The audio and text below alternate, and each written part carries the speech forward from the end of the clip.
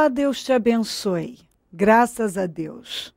Sejam muito bem-vindos ao programa Mudança de Vida hoje. Muito obrigada por estar aí. Que o Senhor Jesus te abençoe muitíssimo e a toda a sua família também. Nós estamos nesta fé, propósito de fé, da mudança Quais as três coisas que você não aceita levar para 2014? Não tem que levar. Mas de jeito nenhum. Nós estamos lutando e buscando em Deus solução. E Ele tem mandado os livramentos, as vitórias.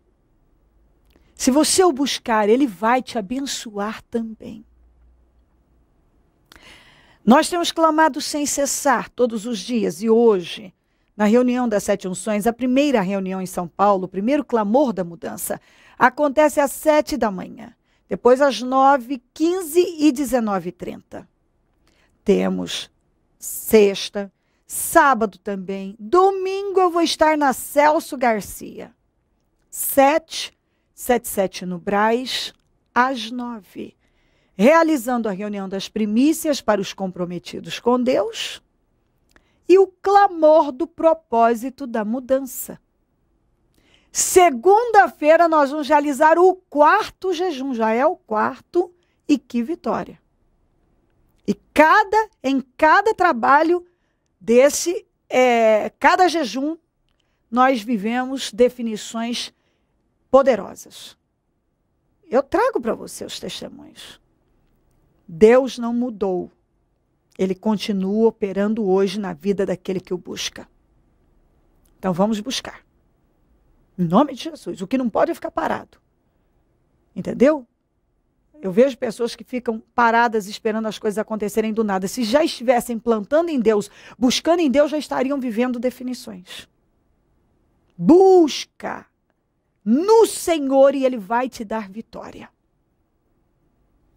Olha o que diz aqui. Em Jeremias 33, no versículo 11. Deem graças ao Senhor dos exércitos, pois ele é bom, o seu amor é leal e dura para sempre. Porque eu mudarei a sorte desta terra, como antigamente declara o Senhor. Em Isaías 64, 4 diz assim: Porque desde a antiguidade não se ouviu, nem com ouvidos se percebeu, nem com olhos se viu. Um Deus, além de ti, que trabalhe por aquele que nele espera. Nunca se ouviu falar de um Deus como esse que quando uma pessoa espera por ele, ele trabalha de uma maneira poderosa, transformadora, milagrosa. Tudo tem jeito para Deus, tudo tem saída para Deus, nada é difícil demais para Deus, todas as coisas são possíveis para Deus. Ao homem é impossível, para Deus não. Se creres, verás a glória de Deus, está escrito. Felizes são aqueles que não viram, mas creram. Esperei, disse o salmista, com paciência no Senhor. E ele se inclinou para mim, ouviu meu clamor. Aqui no próprio Jeremias 33, 3 diz: clama e responder-te-ei. E anunciar-te-ei coisas grandes e firmes que você não sabe, que você nem tem noção. Compreendeu? Clama ao Senhor. E Deus vai se mostrar tão forte na sua vida. Ele vai anunciar. Ele vai colocar nas suas mãos coisas grandes e firmes que você nem tem noção. Se você tem esperado por Deus, Deus tem trabalhado em teu favor. Porque nunca se ouviu falar de um Deus como esse. Que trabalha, ele trabalha por todo aquele que nele espera. Se você tem esperado por Deus, chegou a hora dele mudar a sua sorte. Deus vai mudar a sua sorte. Ele vai mostrar o seu amor leal para com você. É isso que ele vai fazer. E nesse momento, Deus quer que você preste atenção nisso e abra o seu coração para Ele. Porque Ele tem buscado por você, Ele ama você. Ele tem cuidado da sua vida para você não perecer. Ele tem te segurado com mão forte para você não tropeçar. Muitas coisas aconteceram na tua vida que não era nem para você estar tá aí. Mas Deus preservou a tua vida. Deus tem mantido você vivo, sabe para quê? Para te salvar, para te abençoar, para que o nome dele seja glorificado. Deus quer que o nome dele seja glorificado na tua vida. E ele tem trabalhado por isso. Deus tem trabalhado para que o nome dele seja glorificado na tua vida. Porque muitas coisas aconteceram. E Deus nunca te deixou e tem te protegido. O diabo já vem lutando faz tempo para acabar com você. Mas Deus não deixou. Quem não deixou foi Deus. E sabe por quê? Porque Ele te ama. Porque Ele ama você. Ele não desistiu de você. Você já desistiu dele. Mas ele nunca desistiu de você. Nunca. Você muitas vezes não confiou nele, mas ele continuou do seu lado, defendendo você, sem você sequer perceber. O amor de Deus é leal, a fidelidade de Deus é eterna. Mesmo quando somos infiéis, ele permanece fiel. Quando desistimos dele, ele não desiste de nós. É por isso que você está aí. Tendo ainda a oportunidade de viver as promessas dele e de viver uma realidade totalmente diferente. Deus vai mudar a sua sorte. A partir desse momento que você, do, do momento em que você tem se voltado para Ele e dado passos de fé na direção dele, ele já vem te ele já vem se mostrando forte na sua vida, porque ele tem te guardado para isso, para te abençoar. Deus quer salvar a sua vida e cumprir com as promessas dele. É, ele tem trabalhado para isso. E hoje a palavra para você é essa. Você clama a Ele, espera por Ele, confia nele, e Ele vai mudar a sua sorte. Quando a gente se aproxima mais de Deus, Ele se aproxima de nós. Preste atenção. Não fica aí com reservas. Talvez você ainda tenha reservas. Ainda não se lançou por inteiro. E o Senhor está dizendo a você: se lança. Abandona aquilo que ainda entristece a Ele, que é pecado. Corta da sua vida o que tem sido um atraso de vida. Para com coisas que não têm funcionado. Abandona uma fé que não funciona. Busca Deus com fidelidade. Entra na retidão, faça o que ele tem te mandado fazer. Você sabe. Para de ir onde você tem ido, para de conviver com pessoas que não acrescentam. Corta da tua vida o que é ruim, o que desagrada a Deus. Deus vai mudar a sua sorte. Deus só está esperando você realmente fazer uma entrega total. Para Ele colocar coisas poderosas nas tuas mãos. Para Ele te abençoar com muito mais do que você tem pedido, imaginado. Muito mais. Deus vai mudar a sua sorte. Tudo que tem que fazer é se aproximar mesmo dele. Uma entrega total. Sem reservas, sem, sem nada que aprisiona, tirar da sua vida aquilo que você já sabe que não agrada a ele. E Deus vai mudar a sua sorte.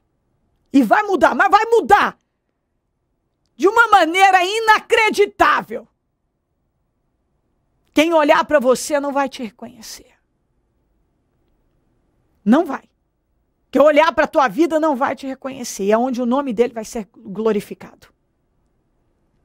Muitas pessoas vão se render a ele por intermédio da mudança da sua vida, da transformação da sua vida. Por isso que você não pode mais protelar nenhuma decisão. Porque muitas pessoas vão se render a ele por intermédio do seu testemunho de vida. Dê a Deus o que ele quer. Dê a Deus. E Deus vai mudar a sua sorte. Deus vai mudar a sua sorte. Deus está dizendo hoje aqui por esse programa que Ele vai mudar a sua sorte. Pode crer nisso. Faça a sua parte. Porque Deus não falha na dele. Viu? E Deus está falando com você para que você haja já, porque Ele tem pressa em agir na sua vida. Ele tem pressa. Ele quer fazer. Ele só está esperando uma decisão da sua parte para ele poder te honrar de, de uma maneira maravilhosa. Deus vai mudar a sua sorte. Faça o que é preciso e Deus vai fazer a parte dele e te surpreenderá. Se crer e desejar, quiser orar comigo prepara algo que queira que receba oração. Eu volto já para nós orarmos. Fabiola, como que era a sua vida antes de chegar aqui no Ministério Mudança de Vida e viver essa fé? A minha vida era totalmente destruída, eu andava muito perturbada, tinha problemas de saúde gravíssimos, fui diagnosticada com um transtorno bipolar e para a medicina isso nunca teria cura. Foram Quatro vezes eu fui internada em hospitais psiquiátricos, passei muito sofrimento dentro dos hospitais e para, para a medicina não havia cura, não tinha retorno, que eu ia depender dos remédios para o resto da minha vida. Várias vezes você, eles vieram te buscar de SAMU e te levaram em camisa de força. Foi, foram duas vezes dessa ocasião que aconteceu isso, infelizmente. Uma vida totalmente destruída. Assim a senhora chegou no Ministério Mudança de Vida. Exatamente, foi assim que eu cheguei, destruída. O meu casamento, por consequência também, eu creio, desse problema, era bem perturbado. Nós tínhamos muitas brigas, muitas discussões. Era muita incompatibilidade, né? Não dava nada certo, infelizmente. Só contenda, só sofrimento. Foram quase dois anos e meio de contenda, muitas brigas. A senhora chegou no Ministério Mudança de Vida e a partir daí pegou firme, participando dos propósitos, das correntes de oração, dos jejuns. E o que, que mudou na sua vida? Como que está a sua vida hoje? Olha, eu participei dos jejuns, peguei bem firme nas orações e graças ao bom Deus, minha vida foi totalmente restituída, transformada. Tudo mudou. A, a cura chegou para honra e glória do nome do Senhor Jesus. Hoje estou totalmente liberta, curada do, tra do transtorno bipolar. Não existe mais isso na minha vida. O casamento também abençoado, graças a Deus, a cada dia mais restaurado e na presença de Deus, que é o mais importante. A senhora que era escrava dos remédios, quanto tempo a senhora tomou remédios? Eu tomei remédio 19 anos da minha vida. E hoje está livre? Livre, liberta, graças a Deus. A senhora está abençoada. Abençoadíssima. Tem valido a pena estar na igreja, participar dos propósitos. Hoje a senhora é uma obreira. Tem valido a pena? Muito, vale muito a pena, com certeza. Minha cura foi tudo na minha vida, graças a Deus. Aqui Deus mudou a sua vida no Ministério Mudança de Vida. Mudou e creio que vai mudar ainda mais, muito mais. O que, que o Ministério Mudança de Vida representa para a senhora hoje? Hoje representa a minha cura, a minha libertação e a minha total restauração de vida. Rosângela, William, como que era a vida de vocês antes de chegarem no Ministério Mudança de Vida e viverem essa fé? Era destruído, pastor. Chegamos aqui com casamento destruído, família destruída, vida financeira destruída e chegamos nos vícios. Como que era esse destruído? O que, que acontecia no lar de vocês? Ah, nós tinha, eu, é, tinha o vício da droga, né? É bastante viciado em droga, em cocaína. Todo final de semana era destruído na, na droga, na cerveja. Era bem destruído mesmo. E isso acarretava brigas, desentendimentos em casa, na família. Isso, tive até que chegar nas madrugadas, ter que sair correndo com meus dois filhos por causa do vício, da bebida, das brigas frequentemente no casamento. Os dois usavam drogas. Sim, pastor. E como que era os dois? Como que era a vida de vocês? Ah, era terrível, pastor, não tinha sentido. Destruído, destruído, sem Deus, sem paz, sem união, sem diálogo, só brigas e brigas. Como que era a vida financeira? Amarrado. Muito destruída, o dinheiro que pegava, o dinheiro não fluía e o que, o que fluía só para as drogas. Tudo que vocês recebiam, vocês gastavam nas drogas. Gastava bastante com droga. Bastante mesmo. Quase tudo. E vocês chegaram no Ministério Mudança de Vida, beberam do Espírito, começaram a praticar essa fé viva, pegaram firme nos propósitos de fé, nas correntes, nos jejuns, nas orações. E o que, que mudou na vida de vocês? Mudou tudo, estamos transformados, estamos na obra de Deus, com Espírito Santo e restaurado. Hoje se libertaram totalmente dos vícios. Totalmente dos vícios de tudo. Vício de droga, de bebida, de sair, de balada, de tudo. Tudo. E o casamento que estava destruído, como que está hoje? Restaurado em nome de Jesus. E a vida financeira, como que está hoje? Está ótima, está abençoada. Hoje vocês conquistaram um novo carro. Há quatro meses no Ministério Mudança de Vida e alcançamos resultados, pastor, só milagres de Deus. Em quatro meses aconteceu na vida de vocês o que não aconteceu uma vida toda. A nossa vida era destruída, nós não conhecia Deus. Conhecemos Deus há quatro meses. E agradecer ao Ministério Mudança de Vida, né? É, por ter aparecido em nossas vidas. Agradecer, não tem nem como agradecer. Rosângela, o que, que você tem a dizer a esse senhor, essa senhora, esse jovem, esse pai, essa mãe que tem sofrido com os filhos nas drogas, escravo das drogas, da cocaína, da maconha, que pensam que não tem jeito, que não tem solução. O que, que você tem para dizer a essa pessoa que está assistindo o programa Mudança de Vida? Perseverar, acreditar, porque Deus existe e Ele opera na vida de cada um de nós, basta crer nele. Deus, Ele muda. Se essa pessoa vir buscar essa pessoa, Deus vai mudar a vida dessa pessoa também. Se ela quiser, muda sim. Tem que perseverar e determinar. Eu quero sair do vício, no nome de Jesus eu vou sair e acontece, porque aconteceu comigo. Deus transformou a vida de vocês. Amém. Vocês estão abençoados. Em nome de Jesus. O que, que o Ministério Mudança de Vida representa para vocês, para os senhores hoje? Para mim representa tudo. Entendimento, é, aprendizado, tudo, tudo. O que, que o ministério representa para a senhora? Caminho novo, mudança total em todos os sentidos da vida. E falar para vocês, busque o Ministério Mudança de Vidas que vocês obterão resultados. Momento da oração. Ó Deus de Israel, eu oro por esta vida, Senhor. Que o Senhor está dizendo: eu trabalho por todo aquele que espera por mim. Quando uma pessoa clama a mim, eu respondo e eu me mostro forte na vida dela. O Senhor está deixando bem claro que se essa pessoa depender inteiramente do Senhor, aprender a esperar pelo Senhor, confiar no Senhor, manifestar a fé no Senhor, obedecer a Sua palavra, se entregar por inteiro, sem nenhuma reserva, o Senhor vai mudar a sorte dela. O Senhor tem pressa em agir na vida dela. O Senhor quer que o seu nome seja glorificado na vida dela.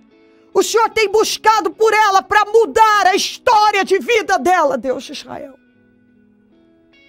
E a promessa é essa: eu vou mudar a sua sorte.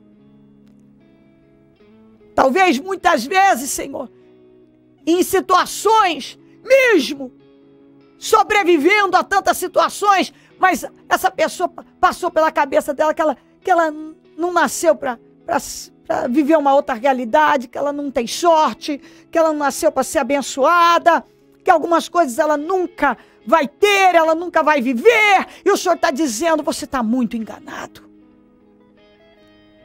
Muito enganado. Quem muda a sorte de uma pessoa sou eu. Com a minha bênção a vida da pessoa muda. Você vai viver tudo que você sonha, você vai ter tudo que você sonha se você for fiel a mim. Eu vou mudar a sua sorte se você decidir viver com fidelidade, se entregar. Eu vou mudar a sua sorte. Que esse espírito domine a vida dela, que essa palavra entre e domine a vida dela. E que nada a impeça de fazer o que é preciso. Deus abençoa a vida dela agora. Com esse entendimento, com esse posicionamento firme. Que essa palavra entre agora e que ela não resista mais. Que ela não adie nada, mas que ela haja imediatamente. Abençoa lares, famílias, todos que nos pedem orações.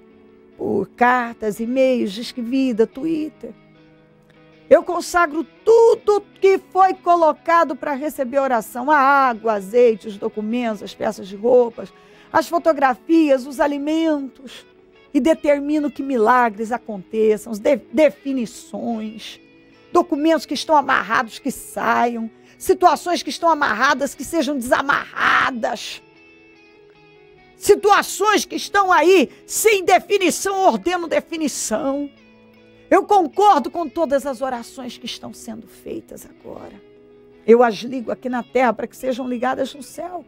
Eu ligo as vitórias dessa pessoa aqui na terra para que sejam ligadas no céu. Eu desligo todos esses problemas, esses tormentos, essas situações que afligem a alma. Eu desligo aqui na terra para que sejam desligadas no céu. Eu determino força, saúde mental, emocional, física e espiritual, mudança de visão, renovação de mente. Tira as escamas dos olhos, tira o argueiro, meu Pai. Passa colírio nos olhos dessa pessoa da visão espiritual, tira a surdez espiritual, dá uma audição com discernimento, uma audição sensível à sua voz, ouvidos sensíveis à sua voz, rédeas de ouvido. Coloca um guarda na boca dela para que ela fale palavras de vitória, que ela profetize as vitórias, troca corações de pedra, que corações sejam rasgados e que a sua palavra se estabeleça nesse coração. Que essa pessoa não olhe para a direita, nem para a esquerda, nem para trás, nem venha estagnar, mas que ela prossiga para o alvo. Que ela corra a carreira que foi proposta, que ela se livre dos embaraços, que ela olhe para o alto, para o autor e consumador da nossa fé, que é o Senhor. Que ela busque as coisas que são de cima, que ela pare de se envolver com ninharias e busque coisas grandes no Senhor. Deus fortaleça cada pessoa agora. Abençoa os meus amigos e companheiros semeadores. Pessoas que dizimam, que ofertam na conta dos semeadores. E tem nos ajudado a manter o programa. Pai, prospera esses semeadores, esses dizimistas e ofertantes fiéis. Prospera, meu Pai, porque está escrito que podemos fazer prova com o Senhor. Prospera essas pessoas, Senhor, porque elas têm abençoado o teu reino, essa obra maravilhosa de salvação. Ó oh Deus, o Senhor sabe, meu Pai, o quanto nós necessitamos do apoio dela e se ela tem sido fiel em apoiar esse programa, que ela tenha, meu Deus, na vida dela todos os benefícios que a tua palavra promete. Desperta mais semeadores. Pessoas que têm sido abençoadas e alimentadas por esse programa, que passem a semear nele, porque essa atitude de fé vai levá-la a vencer. Essa é uma boa terra. Se ela tem sido abençoada por esse programa, que ela semeie. Porque o Senhor dá semente é para quem semeia. Quando uma pessoa passa a semear, meu Pai, na tua obra, é impossível, impossível ela não ser abençoada. E como nós, nós, Senhor, temos levado a tua palavra incansáveis, nós temos sido. Então, se ela se apo a, apoiar essa obra, é uma boa terra, ela não vai, ela jamais será despedida de mãos vazias, ela será muito bem recompensada. Onde esse programa estiver chegando, que milagres, que vitórias, estejam chegando também para a glória do teu nome. Eu abençoo cada pessoa que ora comigo e determino vitórias e milagres. Em nome de Jesus Cristo. Amém. Amém e amém. Graças a Deus, amém. O número do Disque Vida é 0, operadora 11. 3296 9449. Celso Garcia 777 no Braz é onde eu fico. E onde vou estar domingo às nove, realizando a reunião das primícias para os comprometidos com Deus e o clamor do propósito da mudança. Nós estamos nesta fé estamos vencendo. E o Senhor está convidando você a vir e vencer também. Conte com a gente do Ministério Mudança de Vida. E se o Senhor Jesus não voltar, eu vou continuar aqui falando de vida e mudança de vida. Bom dia, amém. Segunda-feira, dia 16 de dezembro, às 15 horas, início do quarto jejum do propósito da mudança, com o encerramento das 21 às 22 horas em todos os templos do Ministério Mudança de Vida. Pois mil anos aos teus olhos são como o dia de ontem que se foi e como a vigília da noite, jejum do propósito da mudança. Não deu o ano por encerrado. Deus pode operar o milagre em fração de segundos. Projeto Semeadores. O Senhor dá a semente ao que semeia. O Ministério Mudança de Vida agradece a sua ajuda ao Projeto Semeadores. Graças a pessoas como você, é que este ministério leva mudança de vida através da palavra de Deus a todos os lugares. Distribuição de alimentos nas comunidades carentes, calor humano e cuidado aos velhinhos e asilados. Trabalho de evangelismo noturno, assistência social e libertação. Mendigos e moradores de rua, casas noturnas, redutos e becos são assistidos nas madrugadas. Torne-se um dizimista e ofertante fiel plante no reino de Deus e dê condições ao ministério Mudança de Vida pregar o Evangelho. Transforme o seu coração. Você tem muito para oferecer. Seja um mantenedor da casa do Senhor.